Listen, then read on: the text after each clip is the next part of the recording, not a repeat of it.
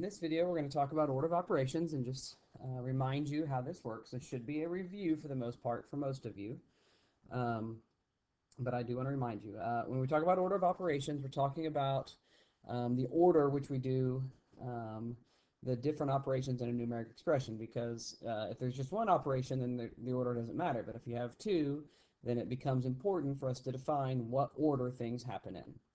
Uh, there is a, uh, an acronym that most people know called PEMDAS that helps us to remember this order. Um, the order is, the first thing you always look at are parentheses. Um, and we'll talk about how this works through some of our examples. But you always want to look inside parentheses first. So essentially, you look inside the parentheses and then you do the rest of these according to those, those parentheses. The next thing you always look at is exponents. You always want to evaluate exponents first, if at all possible. Okay, the exponents are going to come as early as possible because you, you don't want to multiply something that has an exponent with something that doesn't have an exponent. Then these next two you basically do together, um, and that's multiplying and dividing. Um, when you multiply and divide, you, you, you start from left to right,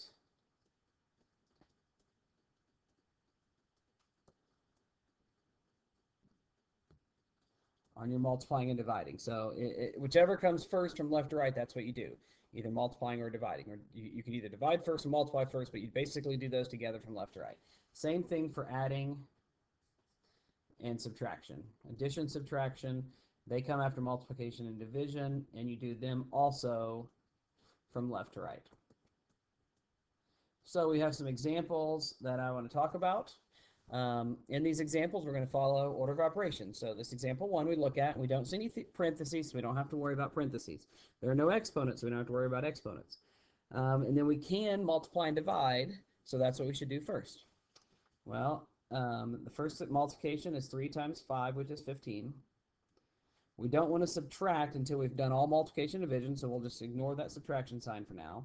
This is where it matters. Right? You don't want to do 2 divided by 4 before you multiply by 6. Um, so you're going to do 6 times 2 first, which will give you 12, and then divided by 4, and then plus 5. Again, resist the temptation to add or subtract here. We're not done multiplying or dividing, so don't start adding and subtracting. So before we add and subtract, we need to do our 12 divided by 4, which would give you 15 minus 12 divided by 4 is 3 plus 5 now we can add or subtract. We move from left to right, so we do 15 minus 3 first, which is 12.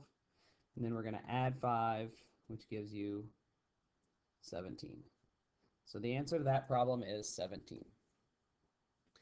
Okay, the next thing you're going to um, look at, um, we'll do another problem like this. Uh, you should try to do this problem first. So I would pause the video and do this problem. I would do that on all these examples. This is a very common problem that people miss a lot. It's a very tempting to do this first. But on PEMDAS, it always says do parentheses first. So the first thing we need to do is evaluate what's inside this parentheses. Well, once we decide we're inside the parentheses, we use the order of operations. Well, inside the parentheses, the only thing you have is addition. So before you do anything else, you should do 4 plus 3, which would be 7. Notice I did not add 5 and 2. I'm not going to add 5 and 2 until I've got through with all my parentheses and all my multiplication. So now this is 2 times 7, so I, there's no more parentheses. The parentheses already been evaluated, no exponents, but there is a multiplication, so I need to do the 2 times 7, which is 14, and 5 plus 14 does equal 19. So notice we could not do this until we've gone through and evaluated this whole expression with the parentheses and the multiplication. Okay, in example three, again, pause it, try it on your own, and then uh, start the video back up and you can watch, watch how the solution is. This one, we need to evaluate parentheses first. And so the first parenthesis is this 4 plus 1. So we're going to evaluate that to 5.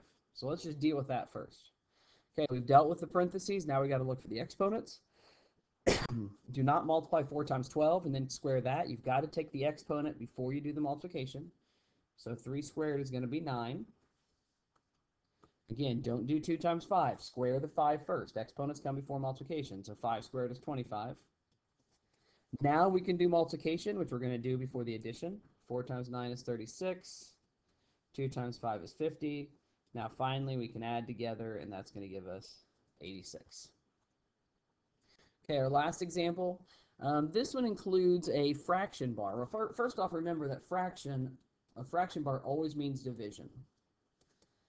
The second thing is, whenever you see a fraction bar, you need to consider the top as if it's in parentheses and the bottom as if it's in parentheses. So we have to um, evaluate the entire top separate from the entire bottom, then we can deal with the division. So in this problem, actually, the last thing we're going to do is division.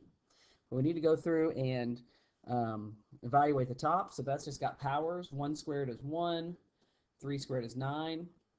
The bottom, we need to evaluate separately. We're gonna, not going to do this subtraction, but we can evaluate this parenthesis. Remember, parentheses always come first. 4 minus 2 is 2 squared. We're evaluating these separate. 1 plus 9 is 10, so we're done with the numerator, at the top of the fraction. The bottom of the fraction, I don't want to do 8 minus 2. I've got to do the square first. And so it's going to give you 8 minus 4, right? Because 2 squared is 4.